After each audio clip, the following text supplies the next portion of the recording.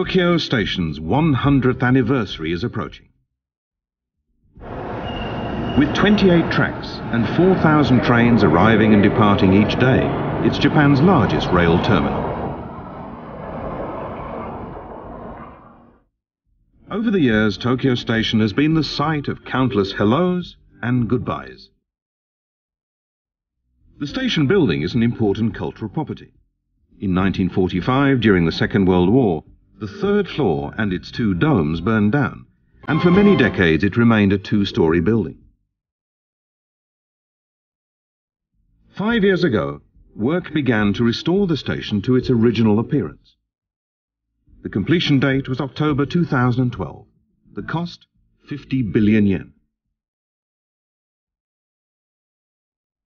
The restoration project not only meticulously recreated the craftsmanship of a bygone century, it also included state-of-the-art seismic safety retrofitting.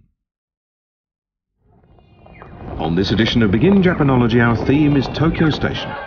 We trace its history as a mirror of Japan's industrial growth and explore the continuing appeal of the nation's biggest terminal station.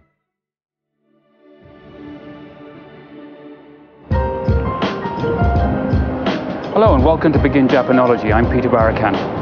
Behind me you'll see Tokyo Station. The architectural style is Victorian Gothic, which for a Londoner like myself is something I'm well familiar with. Over the past five years, Tokyo Station has been the object of a major restoration project, which has finally reached completion. Let's take a look at what was involved. Tokyo Station is the gateway to Tokyo, the capital of Japan. It's a massive terminal station used by 760,000 passengers each day. It's located in the Marunouchi district, where many world-famous companies have their offices. Legions of business people use the station.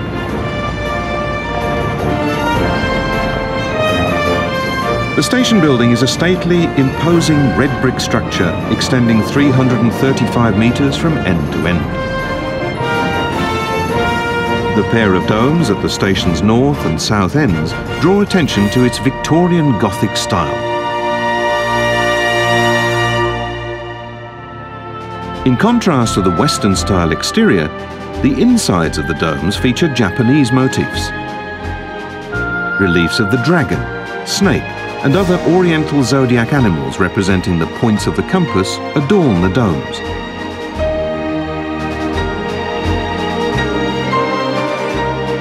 Can you tell what the design of this keystone is derived from?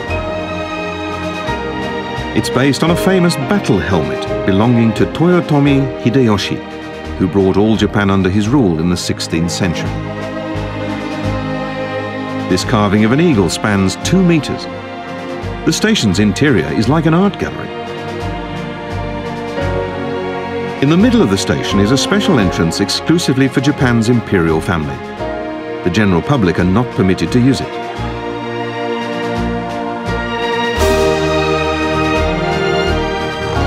Members of the imperial family and dignitaries such as state guests and ambassadors come through these doors. They are met by special horse-drawn carriages that carry them along an avenue of trees to the imperial palace. Now let's step inside the station. It has a total of 28 tracks located above and below ground. The layout is quite different from the central terminal train stations in western cities such as London, Paris and New York.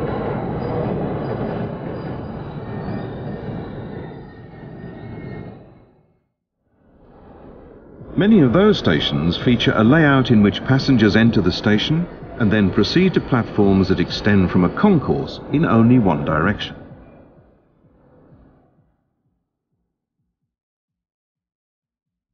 But although Tokyo Station is the terminus for many lines, it was also designed as a through station. Seen from above, it has a lattice-like appearance, with several concourses running perpendicular to many platforms. Tracks 1 through 10 and the underground platforms are mainly commuter lines, connecting to other parts of Tokyo and nearby prefectures like Chiba, Kanagawa and Saitama.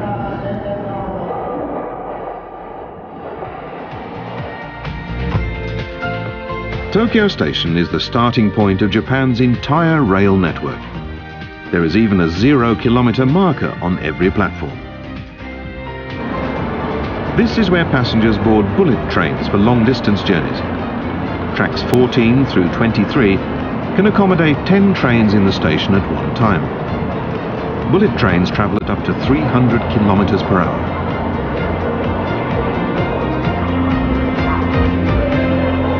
Aomori, 700 kilometers north, to Hakata, 1,100 kilometers to the south, the bullet trains swiftly deliver passengers to hometowns, holiday resorts and business destinations.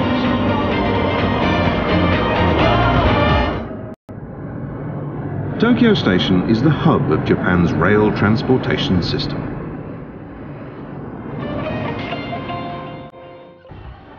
But the station is more than simply a transit facility.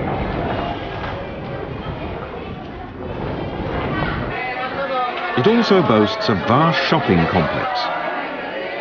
Beneath the station you'll find numerous shops selling sweets, box lunches and sundries. There are souvenir shops and restaurants too. This is Ramen Street, with branches of eight of Tokyo's foremost ramen shops.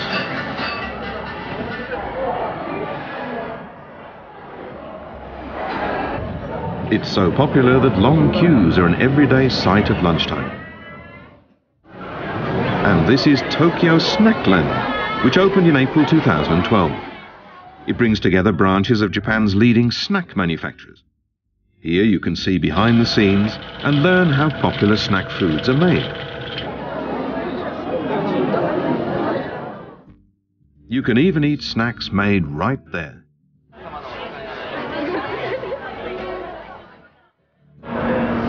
Today, Tokyo Station is more than just a railway station. People come here to shop, dine, and do much more.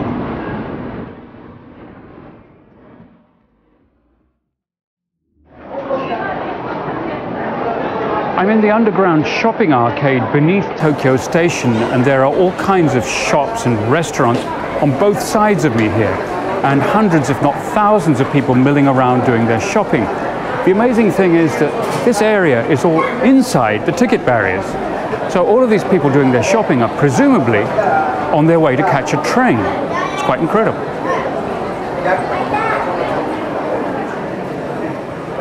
And over here we have the so-called Silver Bell. For many years, if you were going to meet somebody at Tokyo Station, you would always say, ah, let's meet by the Silver Bell. In fact, I can see that there's a whole load of people over there who are using this for exactly that purpose. Why a bell? Well, for example, in Shinto shrines, there's always a bell like this which you use to shake with a rope to summon the deity. In everyday life, bells like this are used to call people's attention. And at Tokyo Station, they decided to use a bell like this as a symbol uh, for a meeting place for people to get together. This one is actually the fourth generation silver bell here at Tokyo Station. Let's go back now and take a look at the history of the station. In 1872, the railway era began in Japan with a line between Shimbashi and Yokohama. Subsequently, the line was extended. But at first, Ueno Station, Tokyo's gateway to the north, and Shimbashi Station, the terminal for westbound trains, were not connected. So plans were drawn up to connect Shimbashi and Ueno by the shortest possible route and to build a central station between them that was capable of serving the whole country. In 1903, the design of Tokyo Station was entrusted to Kingo Tatsuno, who had studied architecture in England. Tatsuno is adept in the English style known as Victorian Gothic, featuring red brick construction highlighted by bands of white stonework. In 1908, construction began on Tokyo Station. The blueprints laid out a vast station building of an unprecedented scale.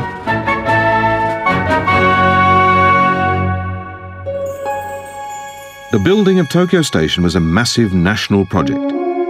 It took six and a half years and 740,000 worker days to complete.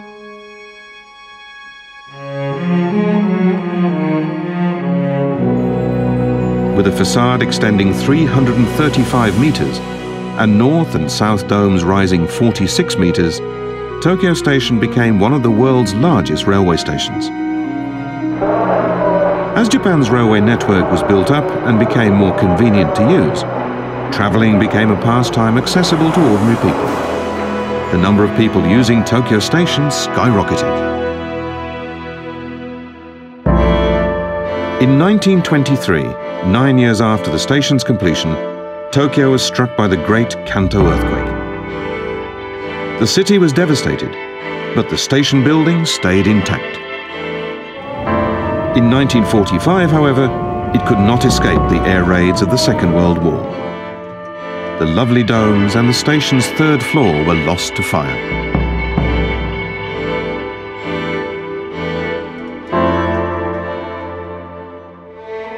After the war, repair work began immediately. But because of a shortage of materials, the rebuilding of the third floor had to be cancelled. Tokyo Station was turned into a two-story structure.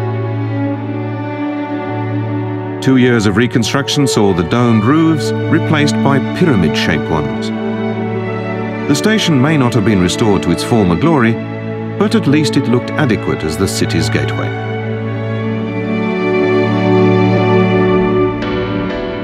Japan rebounded from the war to enter a period of rapid economic growth. Train lines around the country were electrified and new trains were introduced. Timetables became packed with trains coming and going. Tokyo Station was a key presence in Japan's economic miracle and developed accordingly. In 1964, Tokyo hosted the Olympics. Bullet train services from Tokyo Station began in the same year. The bullet train halved the time for travel by rail between Tokyo and Osaka. Now it took just over three hours. Renowned not just for speed, but also for punctuality and safety, Japan's railways attracted more and more passengers.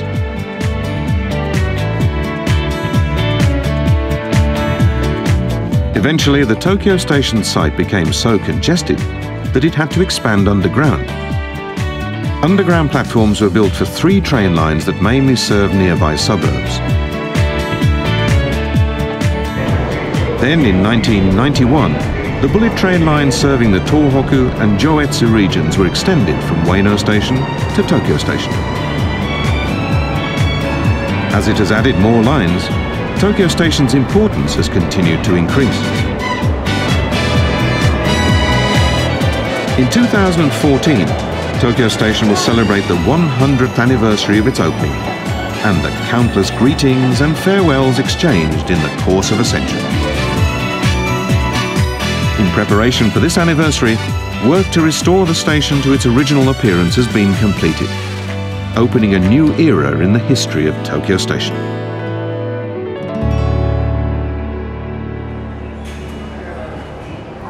I'm standing underneath the famous dome and there's a mark here on the floor. I wonder if you can guess what this is. There's a plaque here on the wall that explains exactly what happened. This is the spot where Prime Minister Takashi Hara was assassinated by a 19-year-old in 1921, just seven years after Tokyo Station had opened. Hara was the first Japanese prime minister who was not a member of the nobility, and as such he faced opposition from many quarters. It's just one of the historic incidents that has happened here during the almost 100 years of Tokyo Station's operations. This is one of the commuter train platforms and you'll see this column here with a slight Greco-Roman flourish towards the top. There's a few of these still left that date back to the original days of Tokyo Station almost 100 years ago. So amid all of the growth and the change, the station has retained a few vestiges of its historic past. Let's move on now and meet some of the artisans that helped to restore the station to its former grandeur. The restoration of Tokyo Station began five years ago. The project's aim was to rebuild the third story along with the two domes that burned down during the Second World War and thereby restore the station to its original appearance. The project was budgeted at 50 billion yen and specialists in many fields from around Japan were assembled to work on the restoration.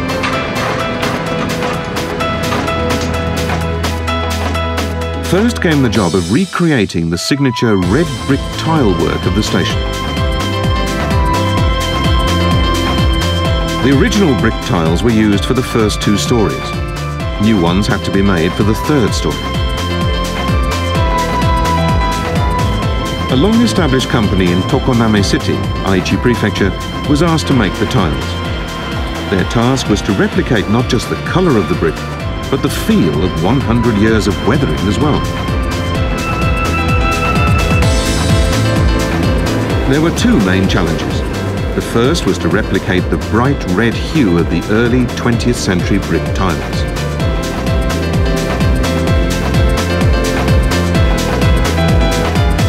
The main ingredient in the tiles is powdered clay. By adding various formulas of pigments, the tile makers search for the exact hue. The process of trial and error took more than 20 attempts. Not only the colour, but the gloss had to match the old tiles.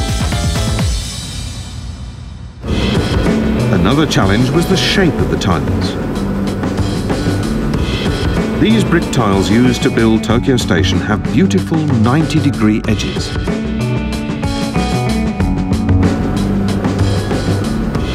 But when clay dust is compressed, removal from the mould always causes some dust to crumble away from the edges.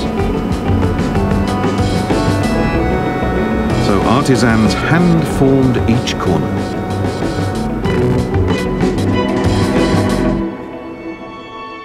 We were determined to get the job done properly. They did it before, so we wanted to show that we could do it too. The hand-formed tiles are fired for two whole days. By slightly reducing the temperature from the usual 1250 degrees, they were able to replicate the colour of the early 20th century tiles. The finished tiles are indistinguishable from the century-old originals.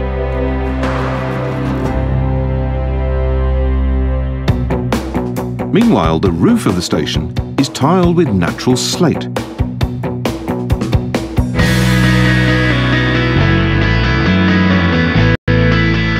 Slate with its smooth texture has long been used for inkstones and roof tiles.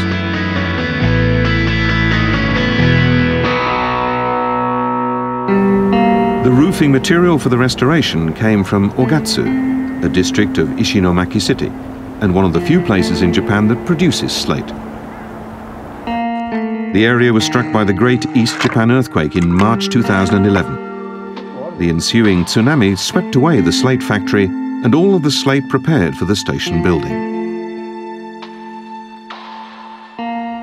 This whole area was where our factory stood. And over there, by that wall, that's where we had our slate roof tiles, all packed and ready to be shipped. But the tsunami swallowed them all, the building and cars too. And everything ended up right here. Employees of the plant searched under the rubble and managed to recover 15,000 slate roof tiles.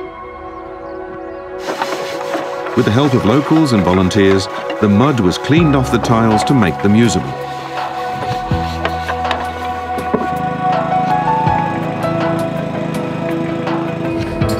The slate tiles that had survived the earthquake and tsunami were successfully installed on the roof of Tokyo Station.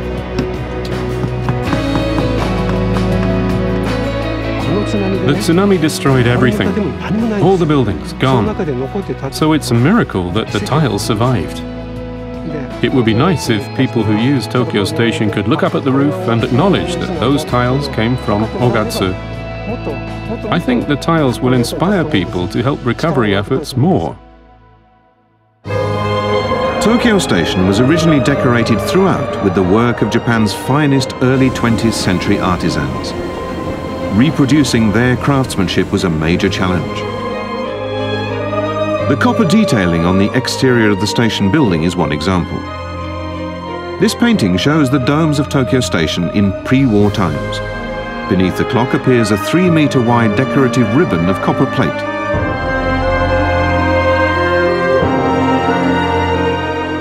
but it was burned off during the war and never replaced.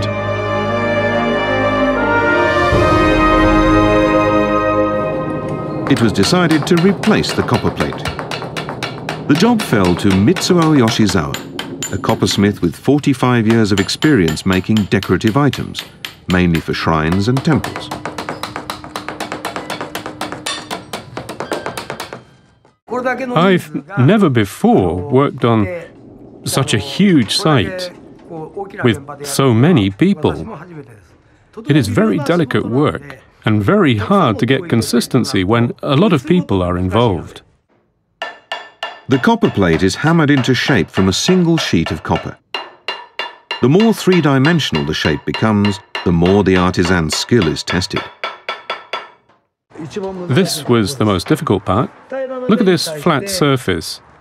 And now, look at it from the side. This is the biggest drop from one surface to the next. The bigger the drop, the more hammering it takes. After a month of hammering, the piece is finally finished. Now it is carefully mounted.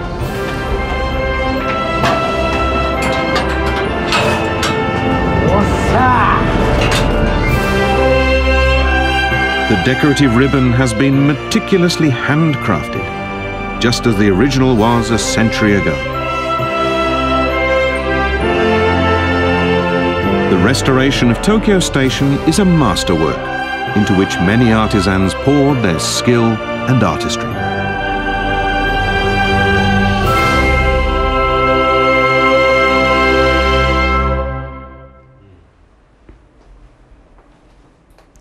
This room is part of the Tokyo Station Hotel, which has been through a major renovation of its own in tandem with the restoration of the station. You look up at these amazing high ceilings, four meters, not something you'll find in a modern day Tokyo hotel. And the view from this window is pretty special too. You can see the inside of the famous dome, which hasn't been seen by anybody for the last 67 years. It's been restored in all its former glory. And if you look down, you can also see the comings and goings of all the passengers going in and out of the station.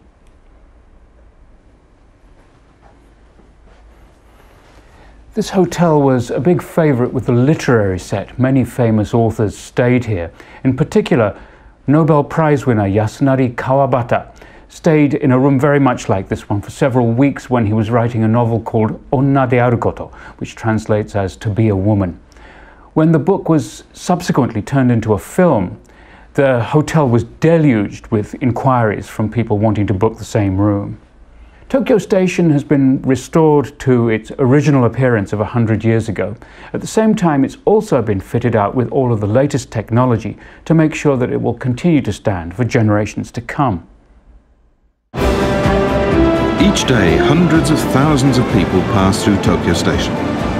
Ensuring their safety is the highest priority. During the restoration, the station was outfitted with state-of-the-art systems to reduce shaking in earthquakes. The station building withstood the Great Kanto earthquake and other disasters to survive for a century. It was originally built on 8-metre tall pine wood pilings, 10,000 of them. Japanese builders had long known that the resin in pine logs would keep out moisture and resist rotting for many decades. At the restoration, the pine pilings were replaced by 450 ferro-concrete ones, reaching 20 metres down into the ground. But because there were so many pine pilings, removing them all proved laborious, and it took three years to replace them. The station building has also been newly fitted with anti-earthquake systems.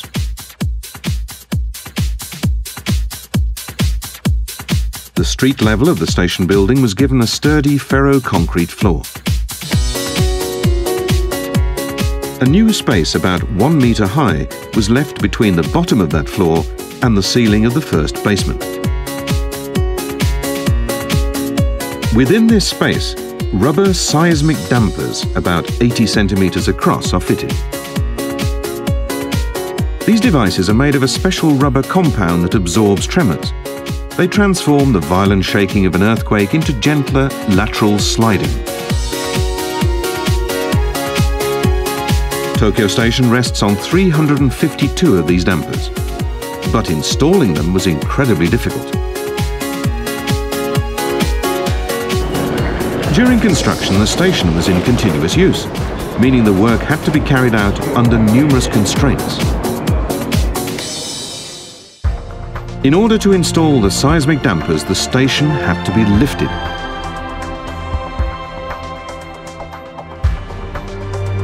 To accomplish this, balloon-like jacks were used. But the building is 335 meters long and weighs 70,000 tons. It was impossible to lift the whole thing in one go.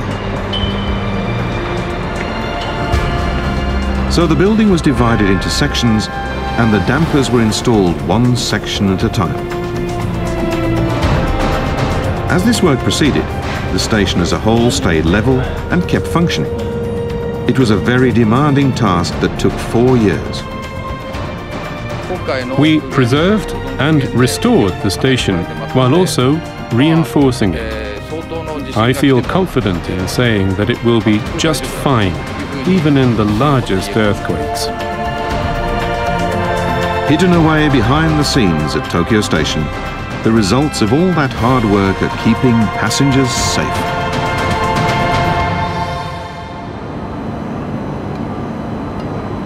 I've been living in Tokyo for almost 40 years now. Time and time again you see excellent old historic buildings getting torn down and big modern skyscrapers going up in their place. Some of the skyscrapers look fine, of course, but it's a shame to see all of that history getting lost. And it's really quite refreshing to see Tokyo Station here with the sense of history, but with all of the really high-tech technology going in there as well. Way to go, Tokyo Station. I'll see you again next time.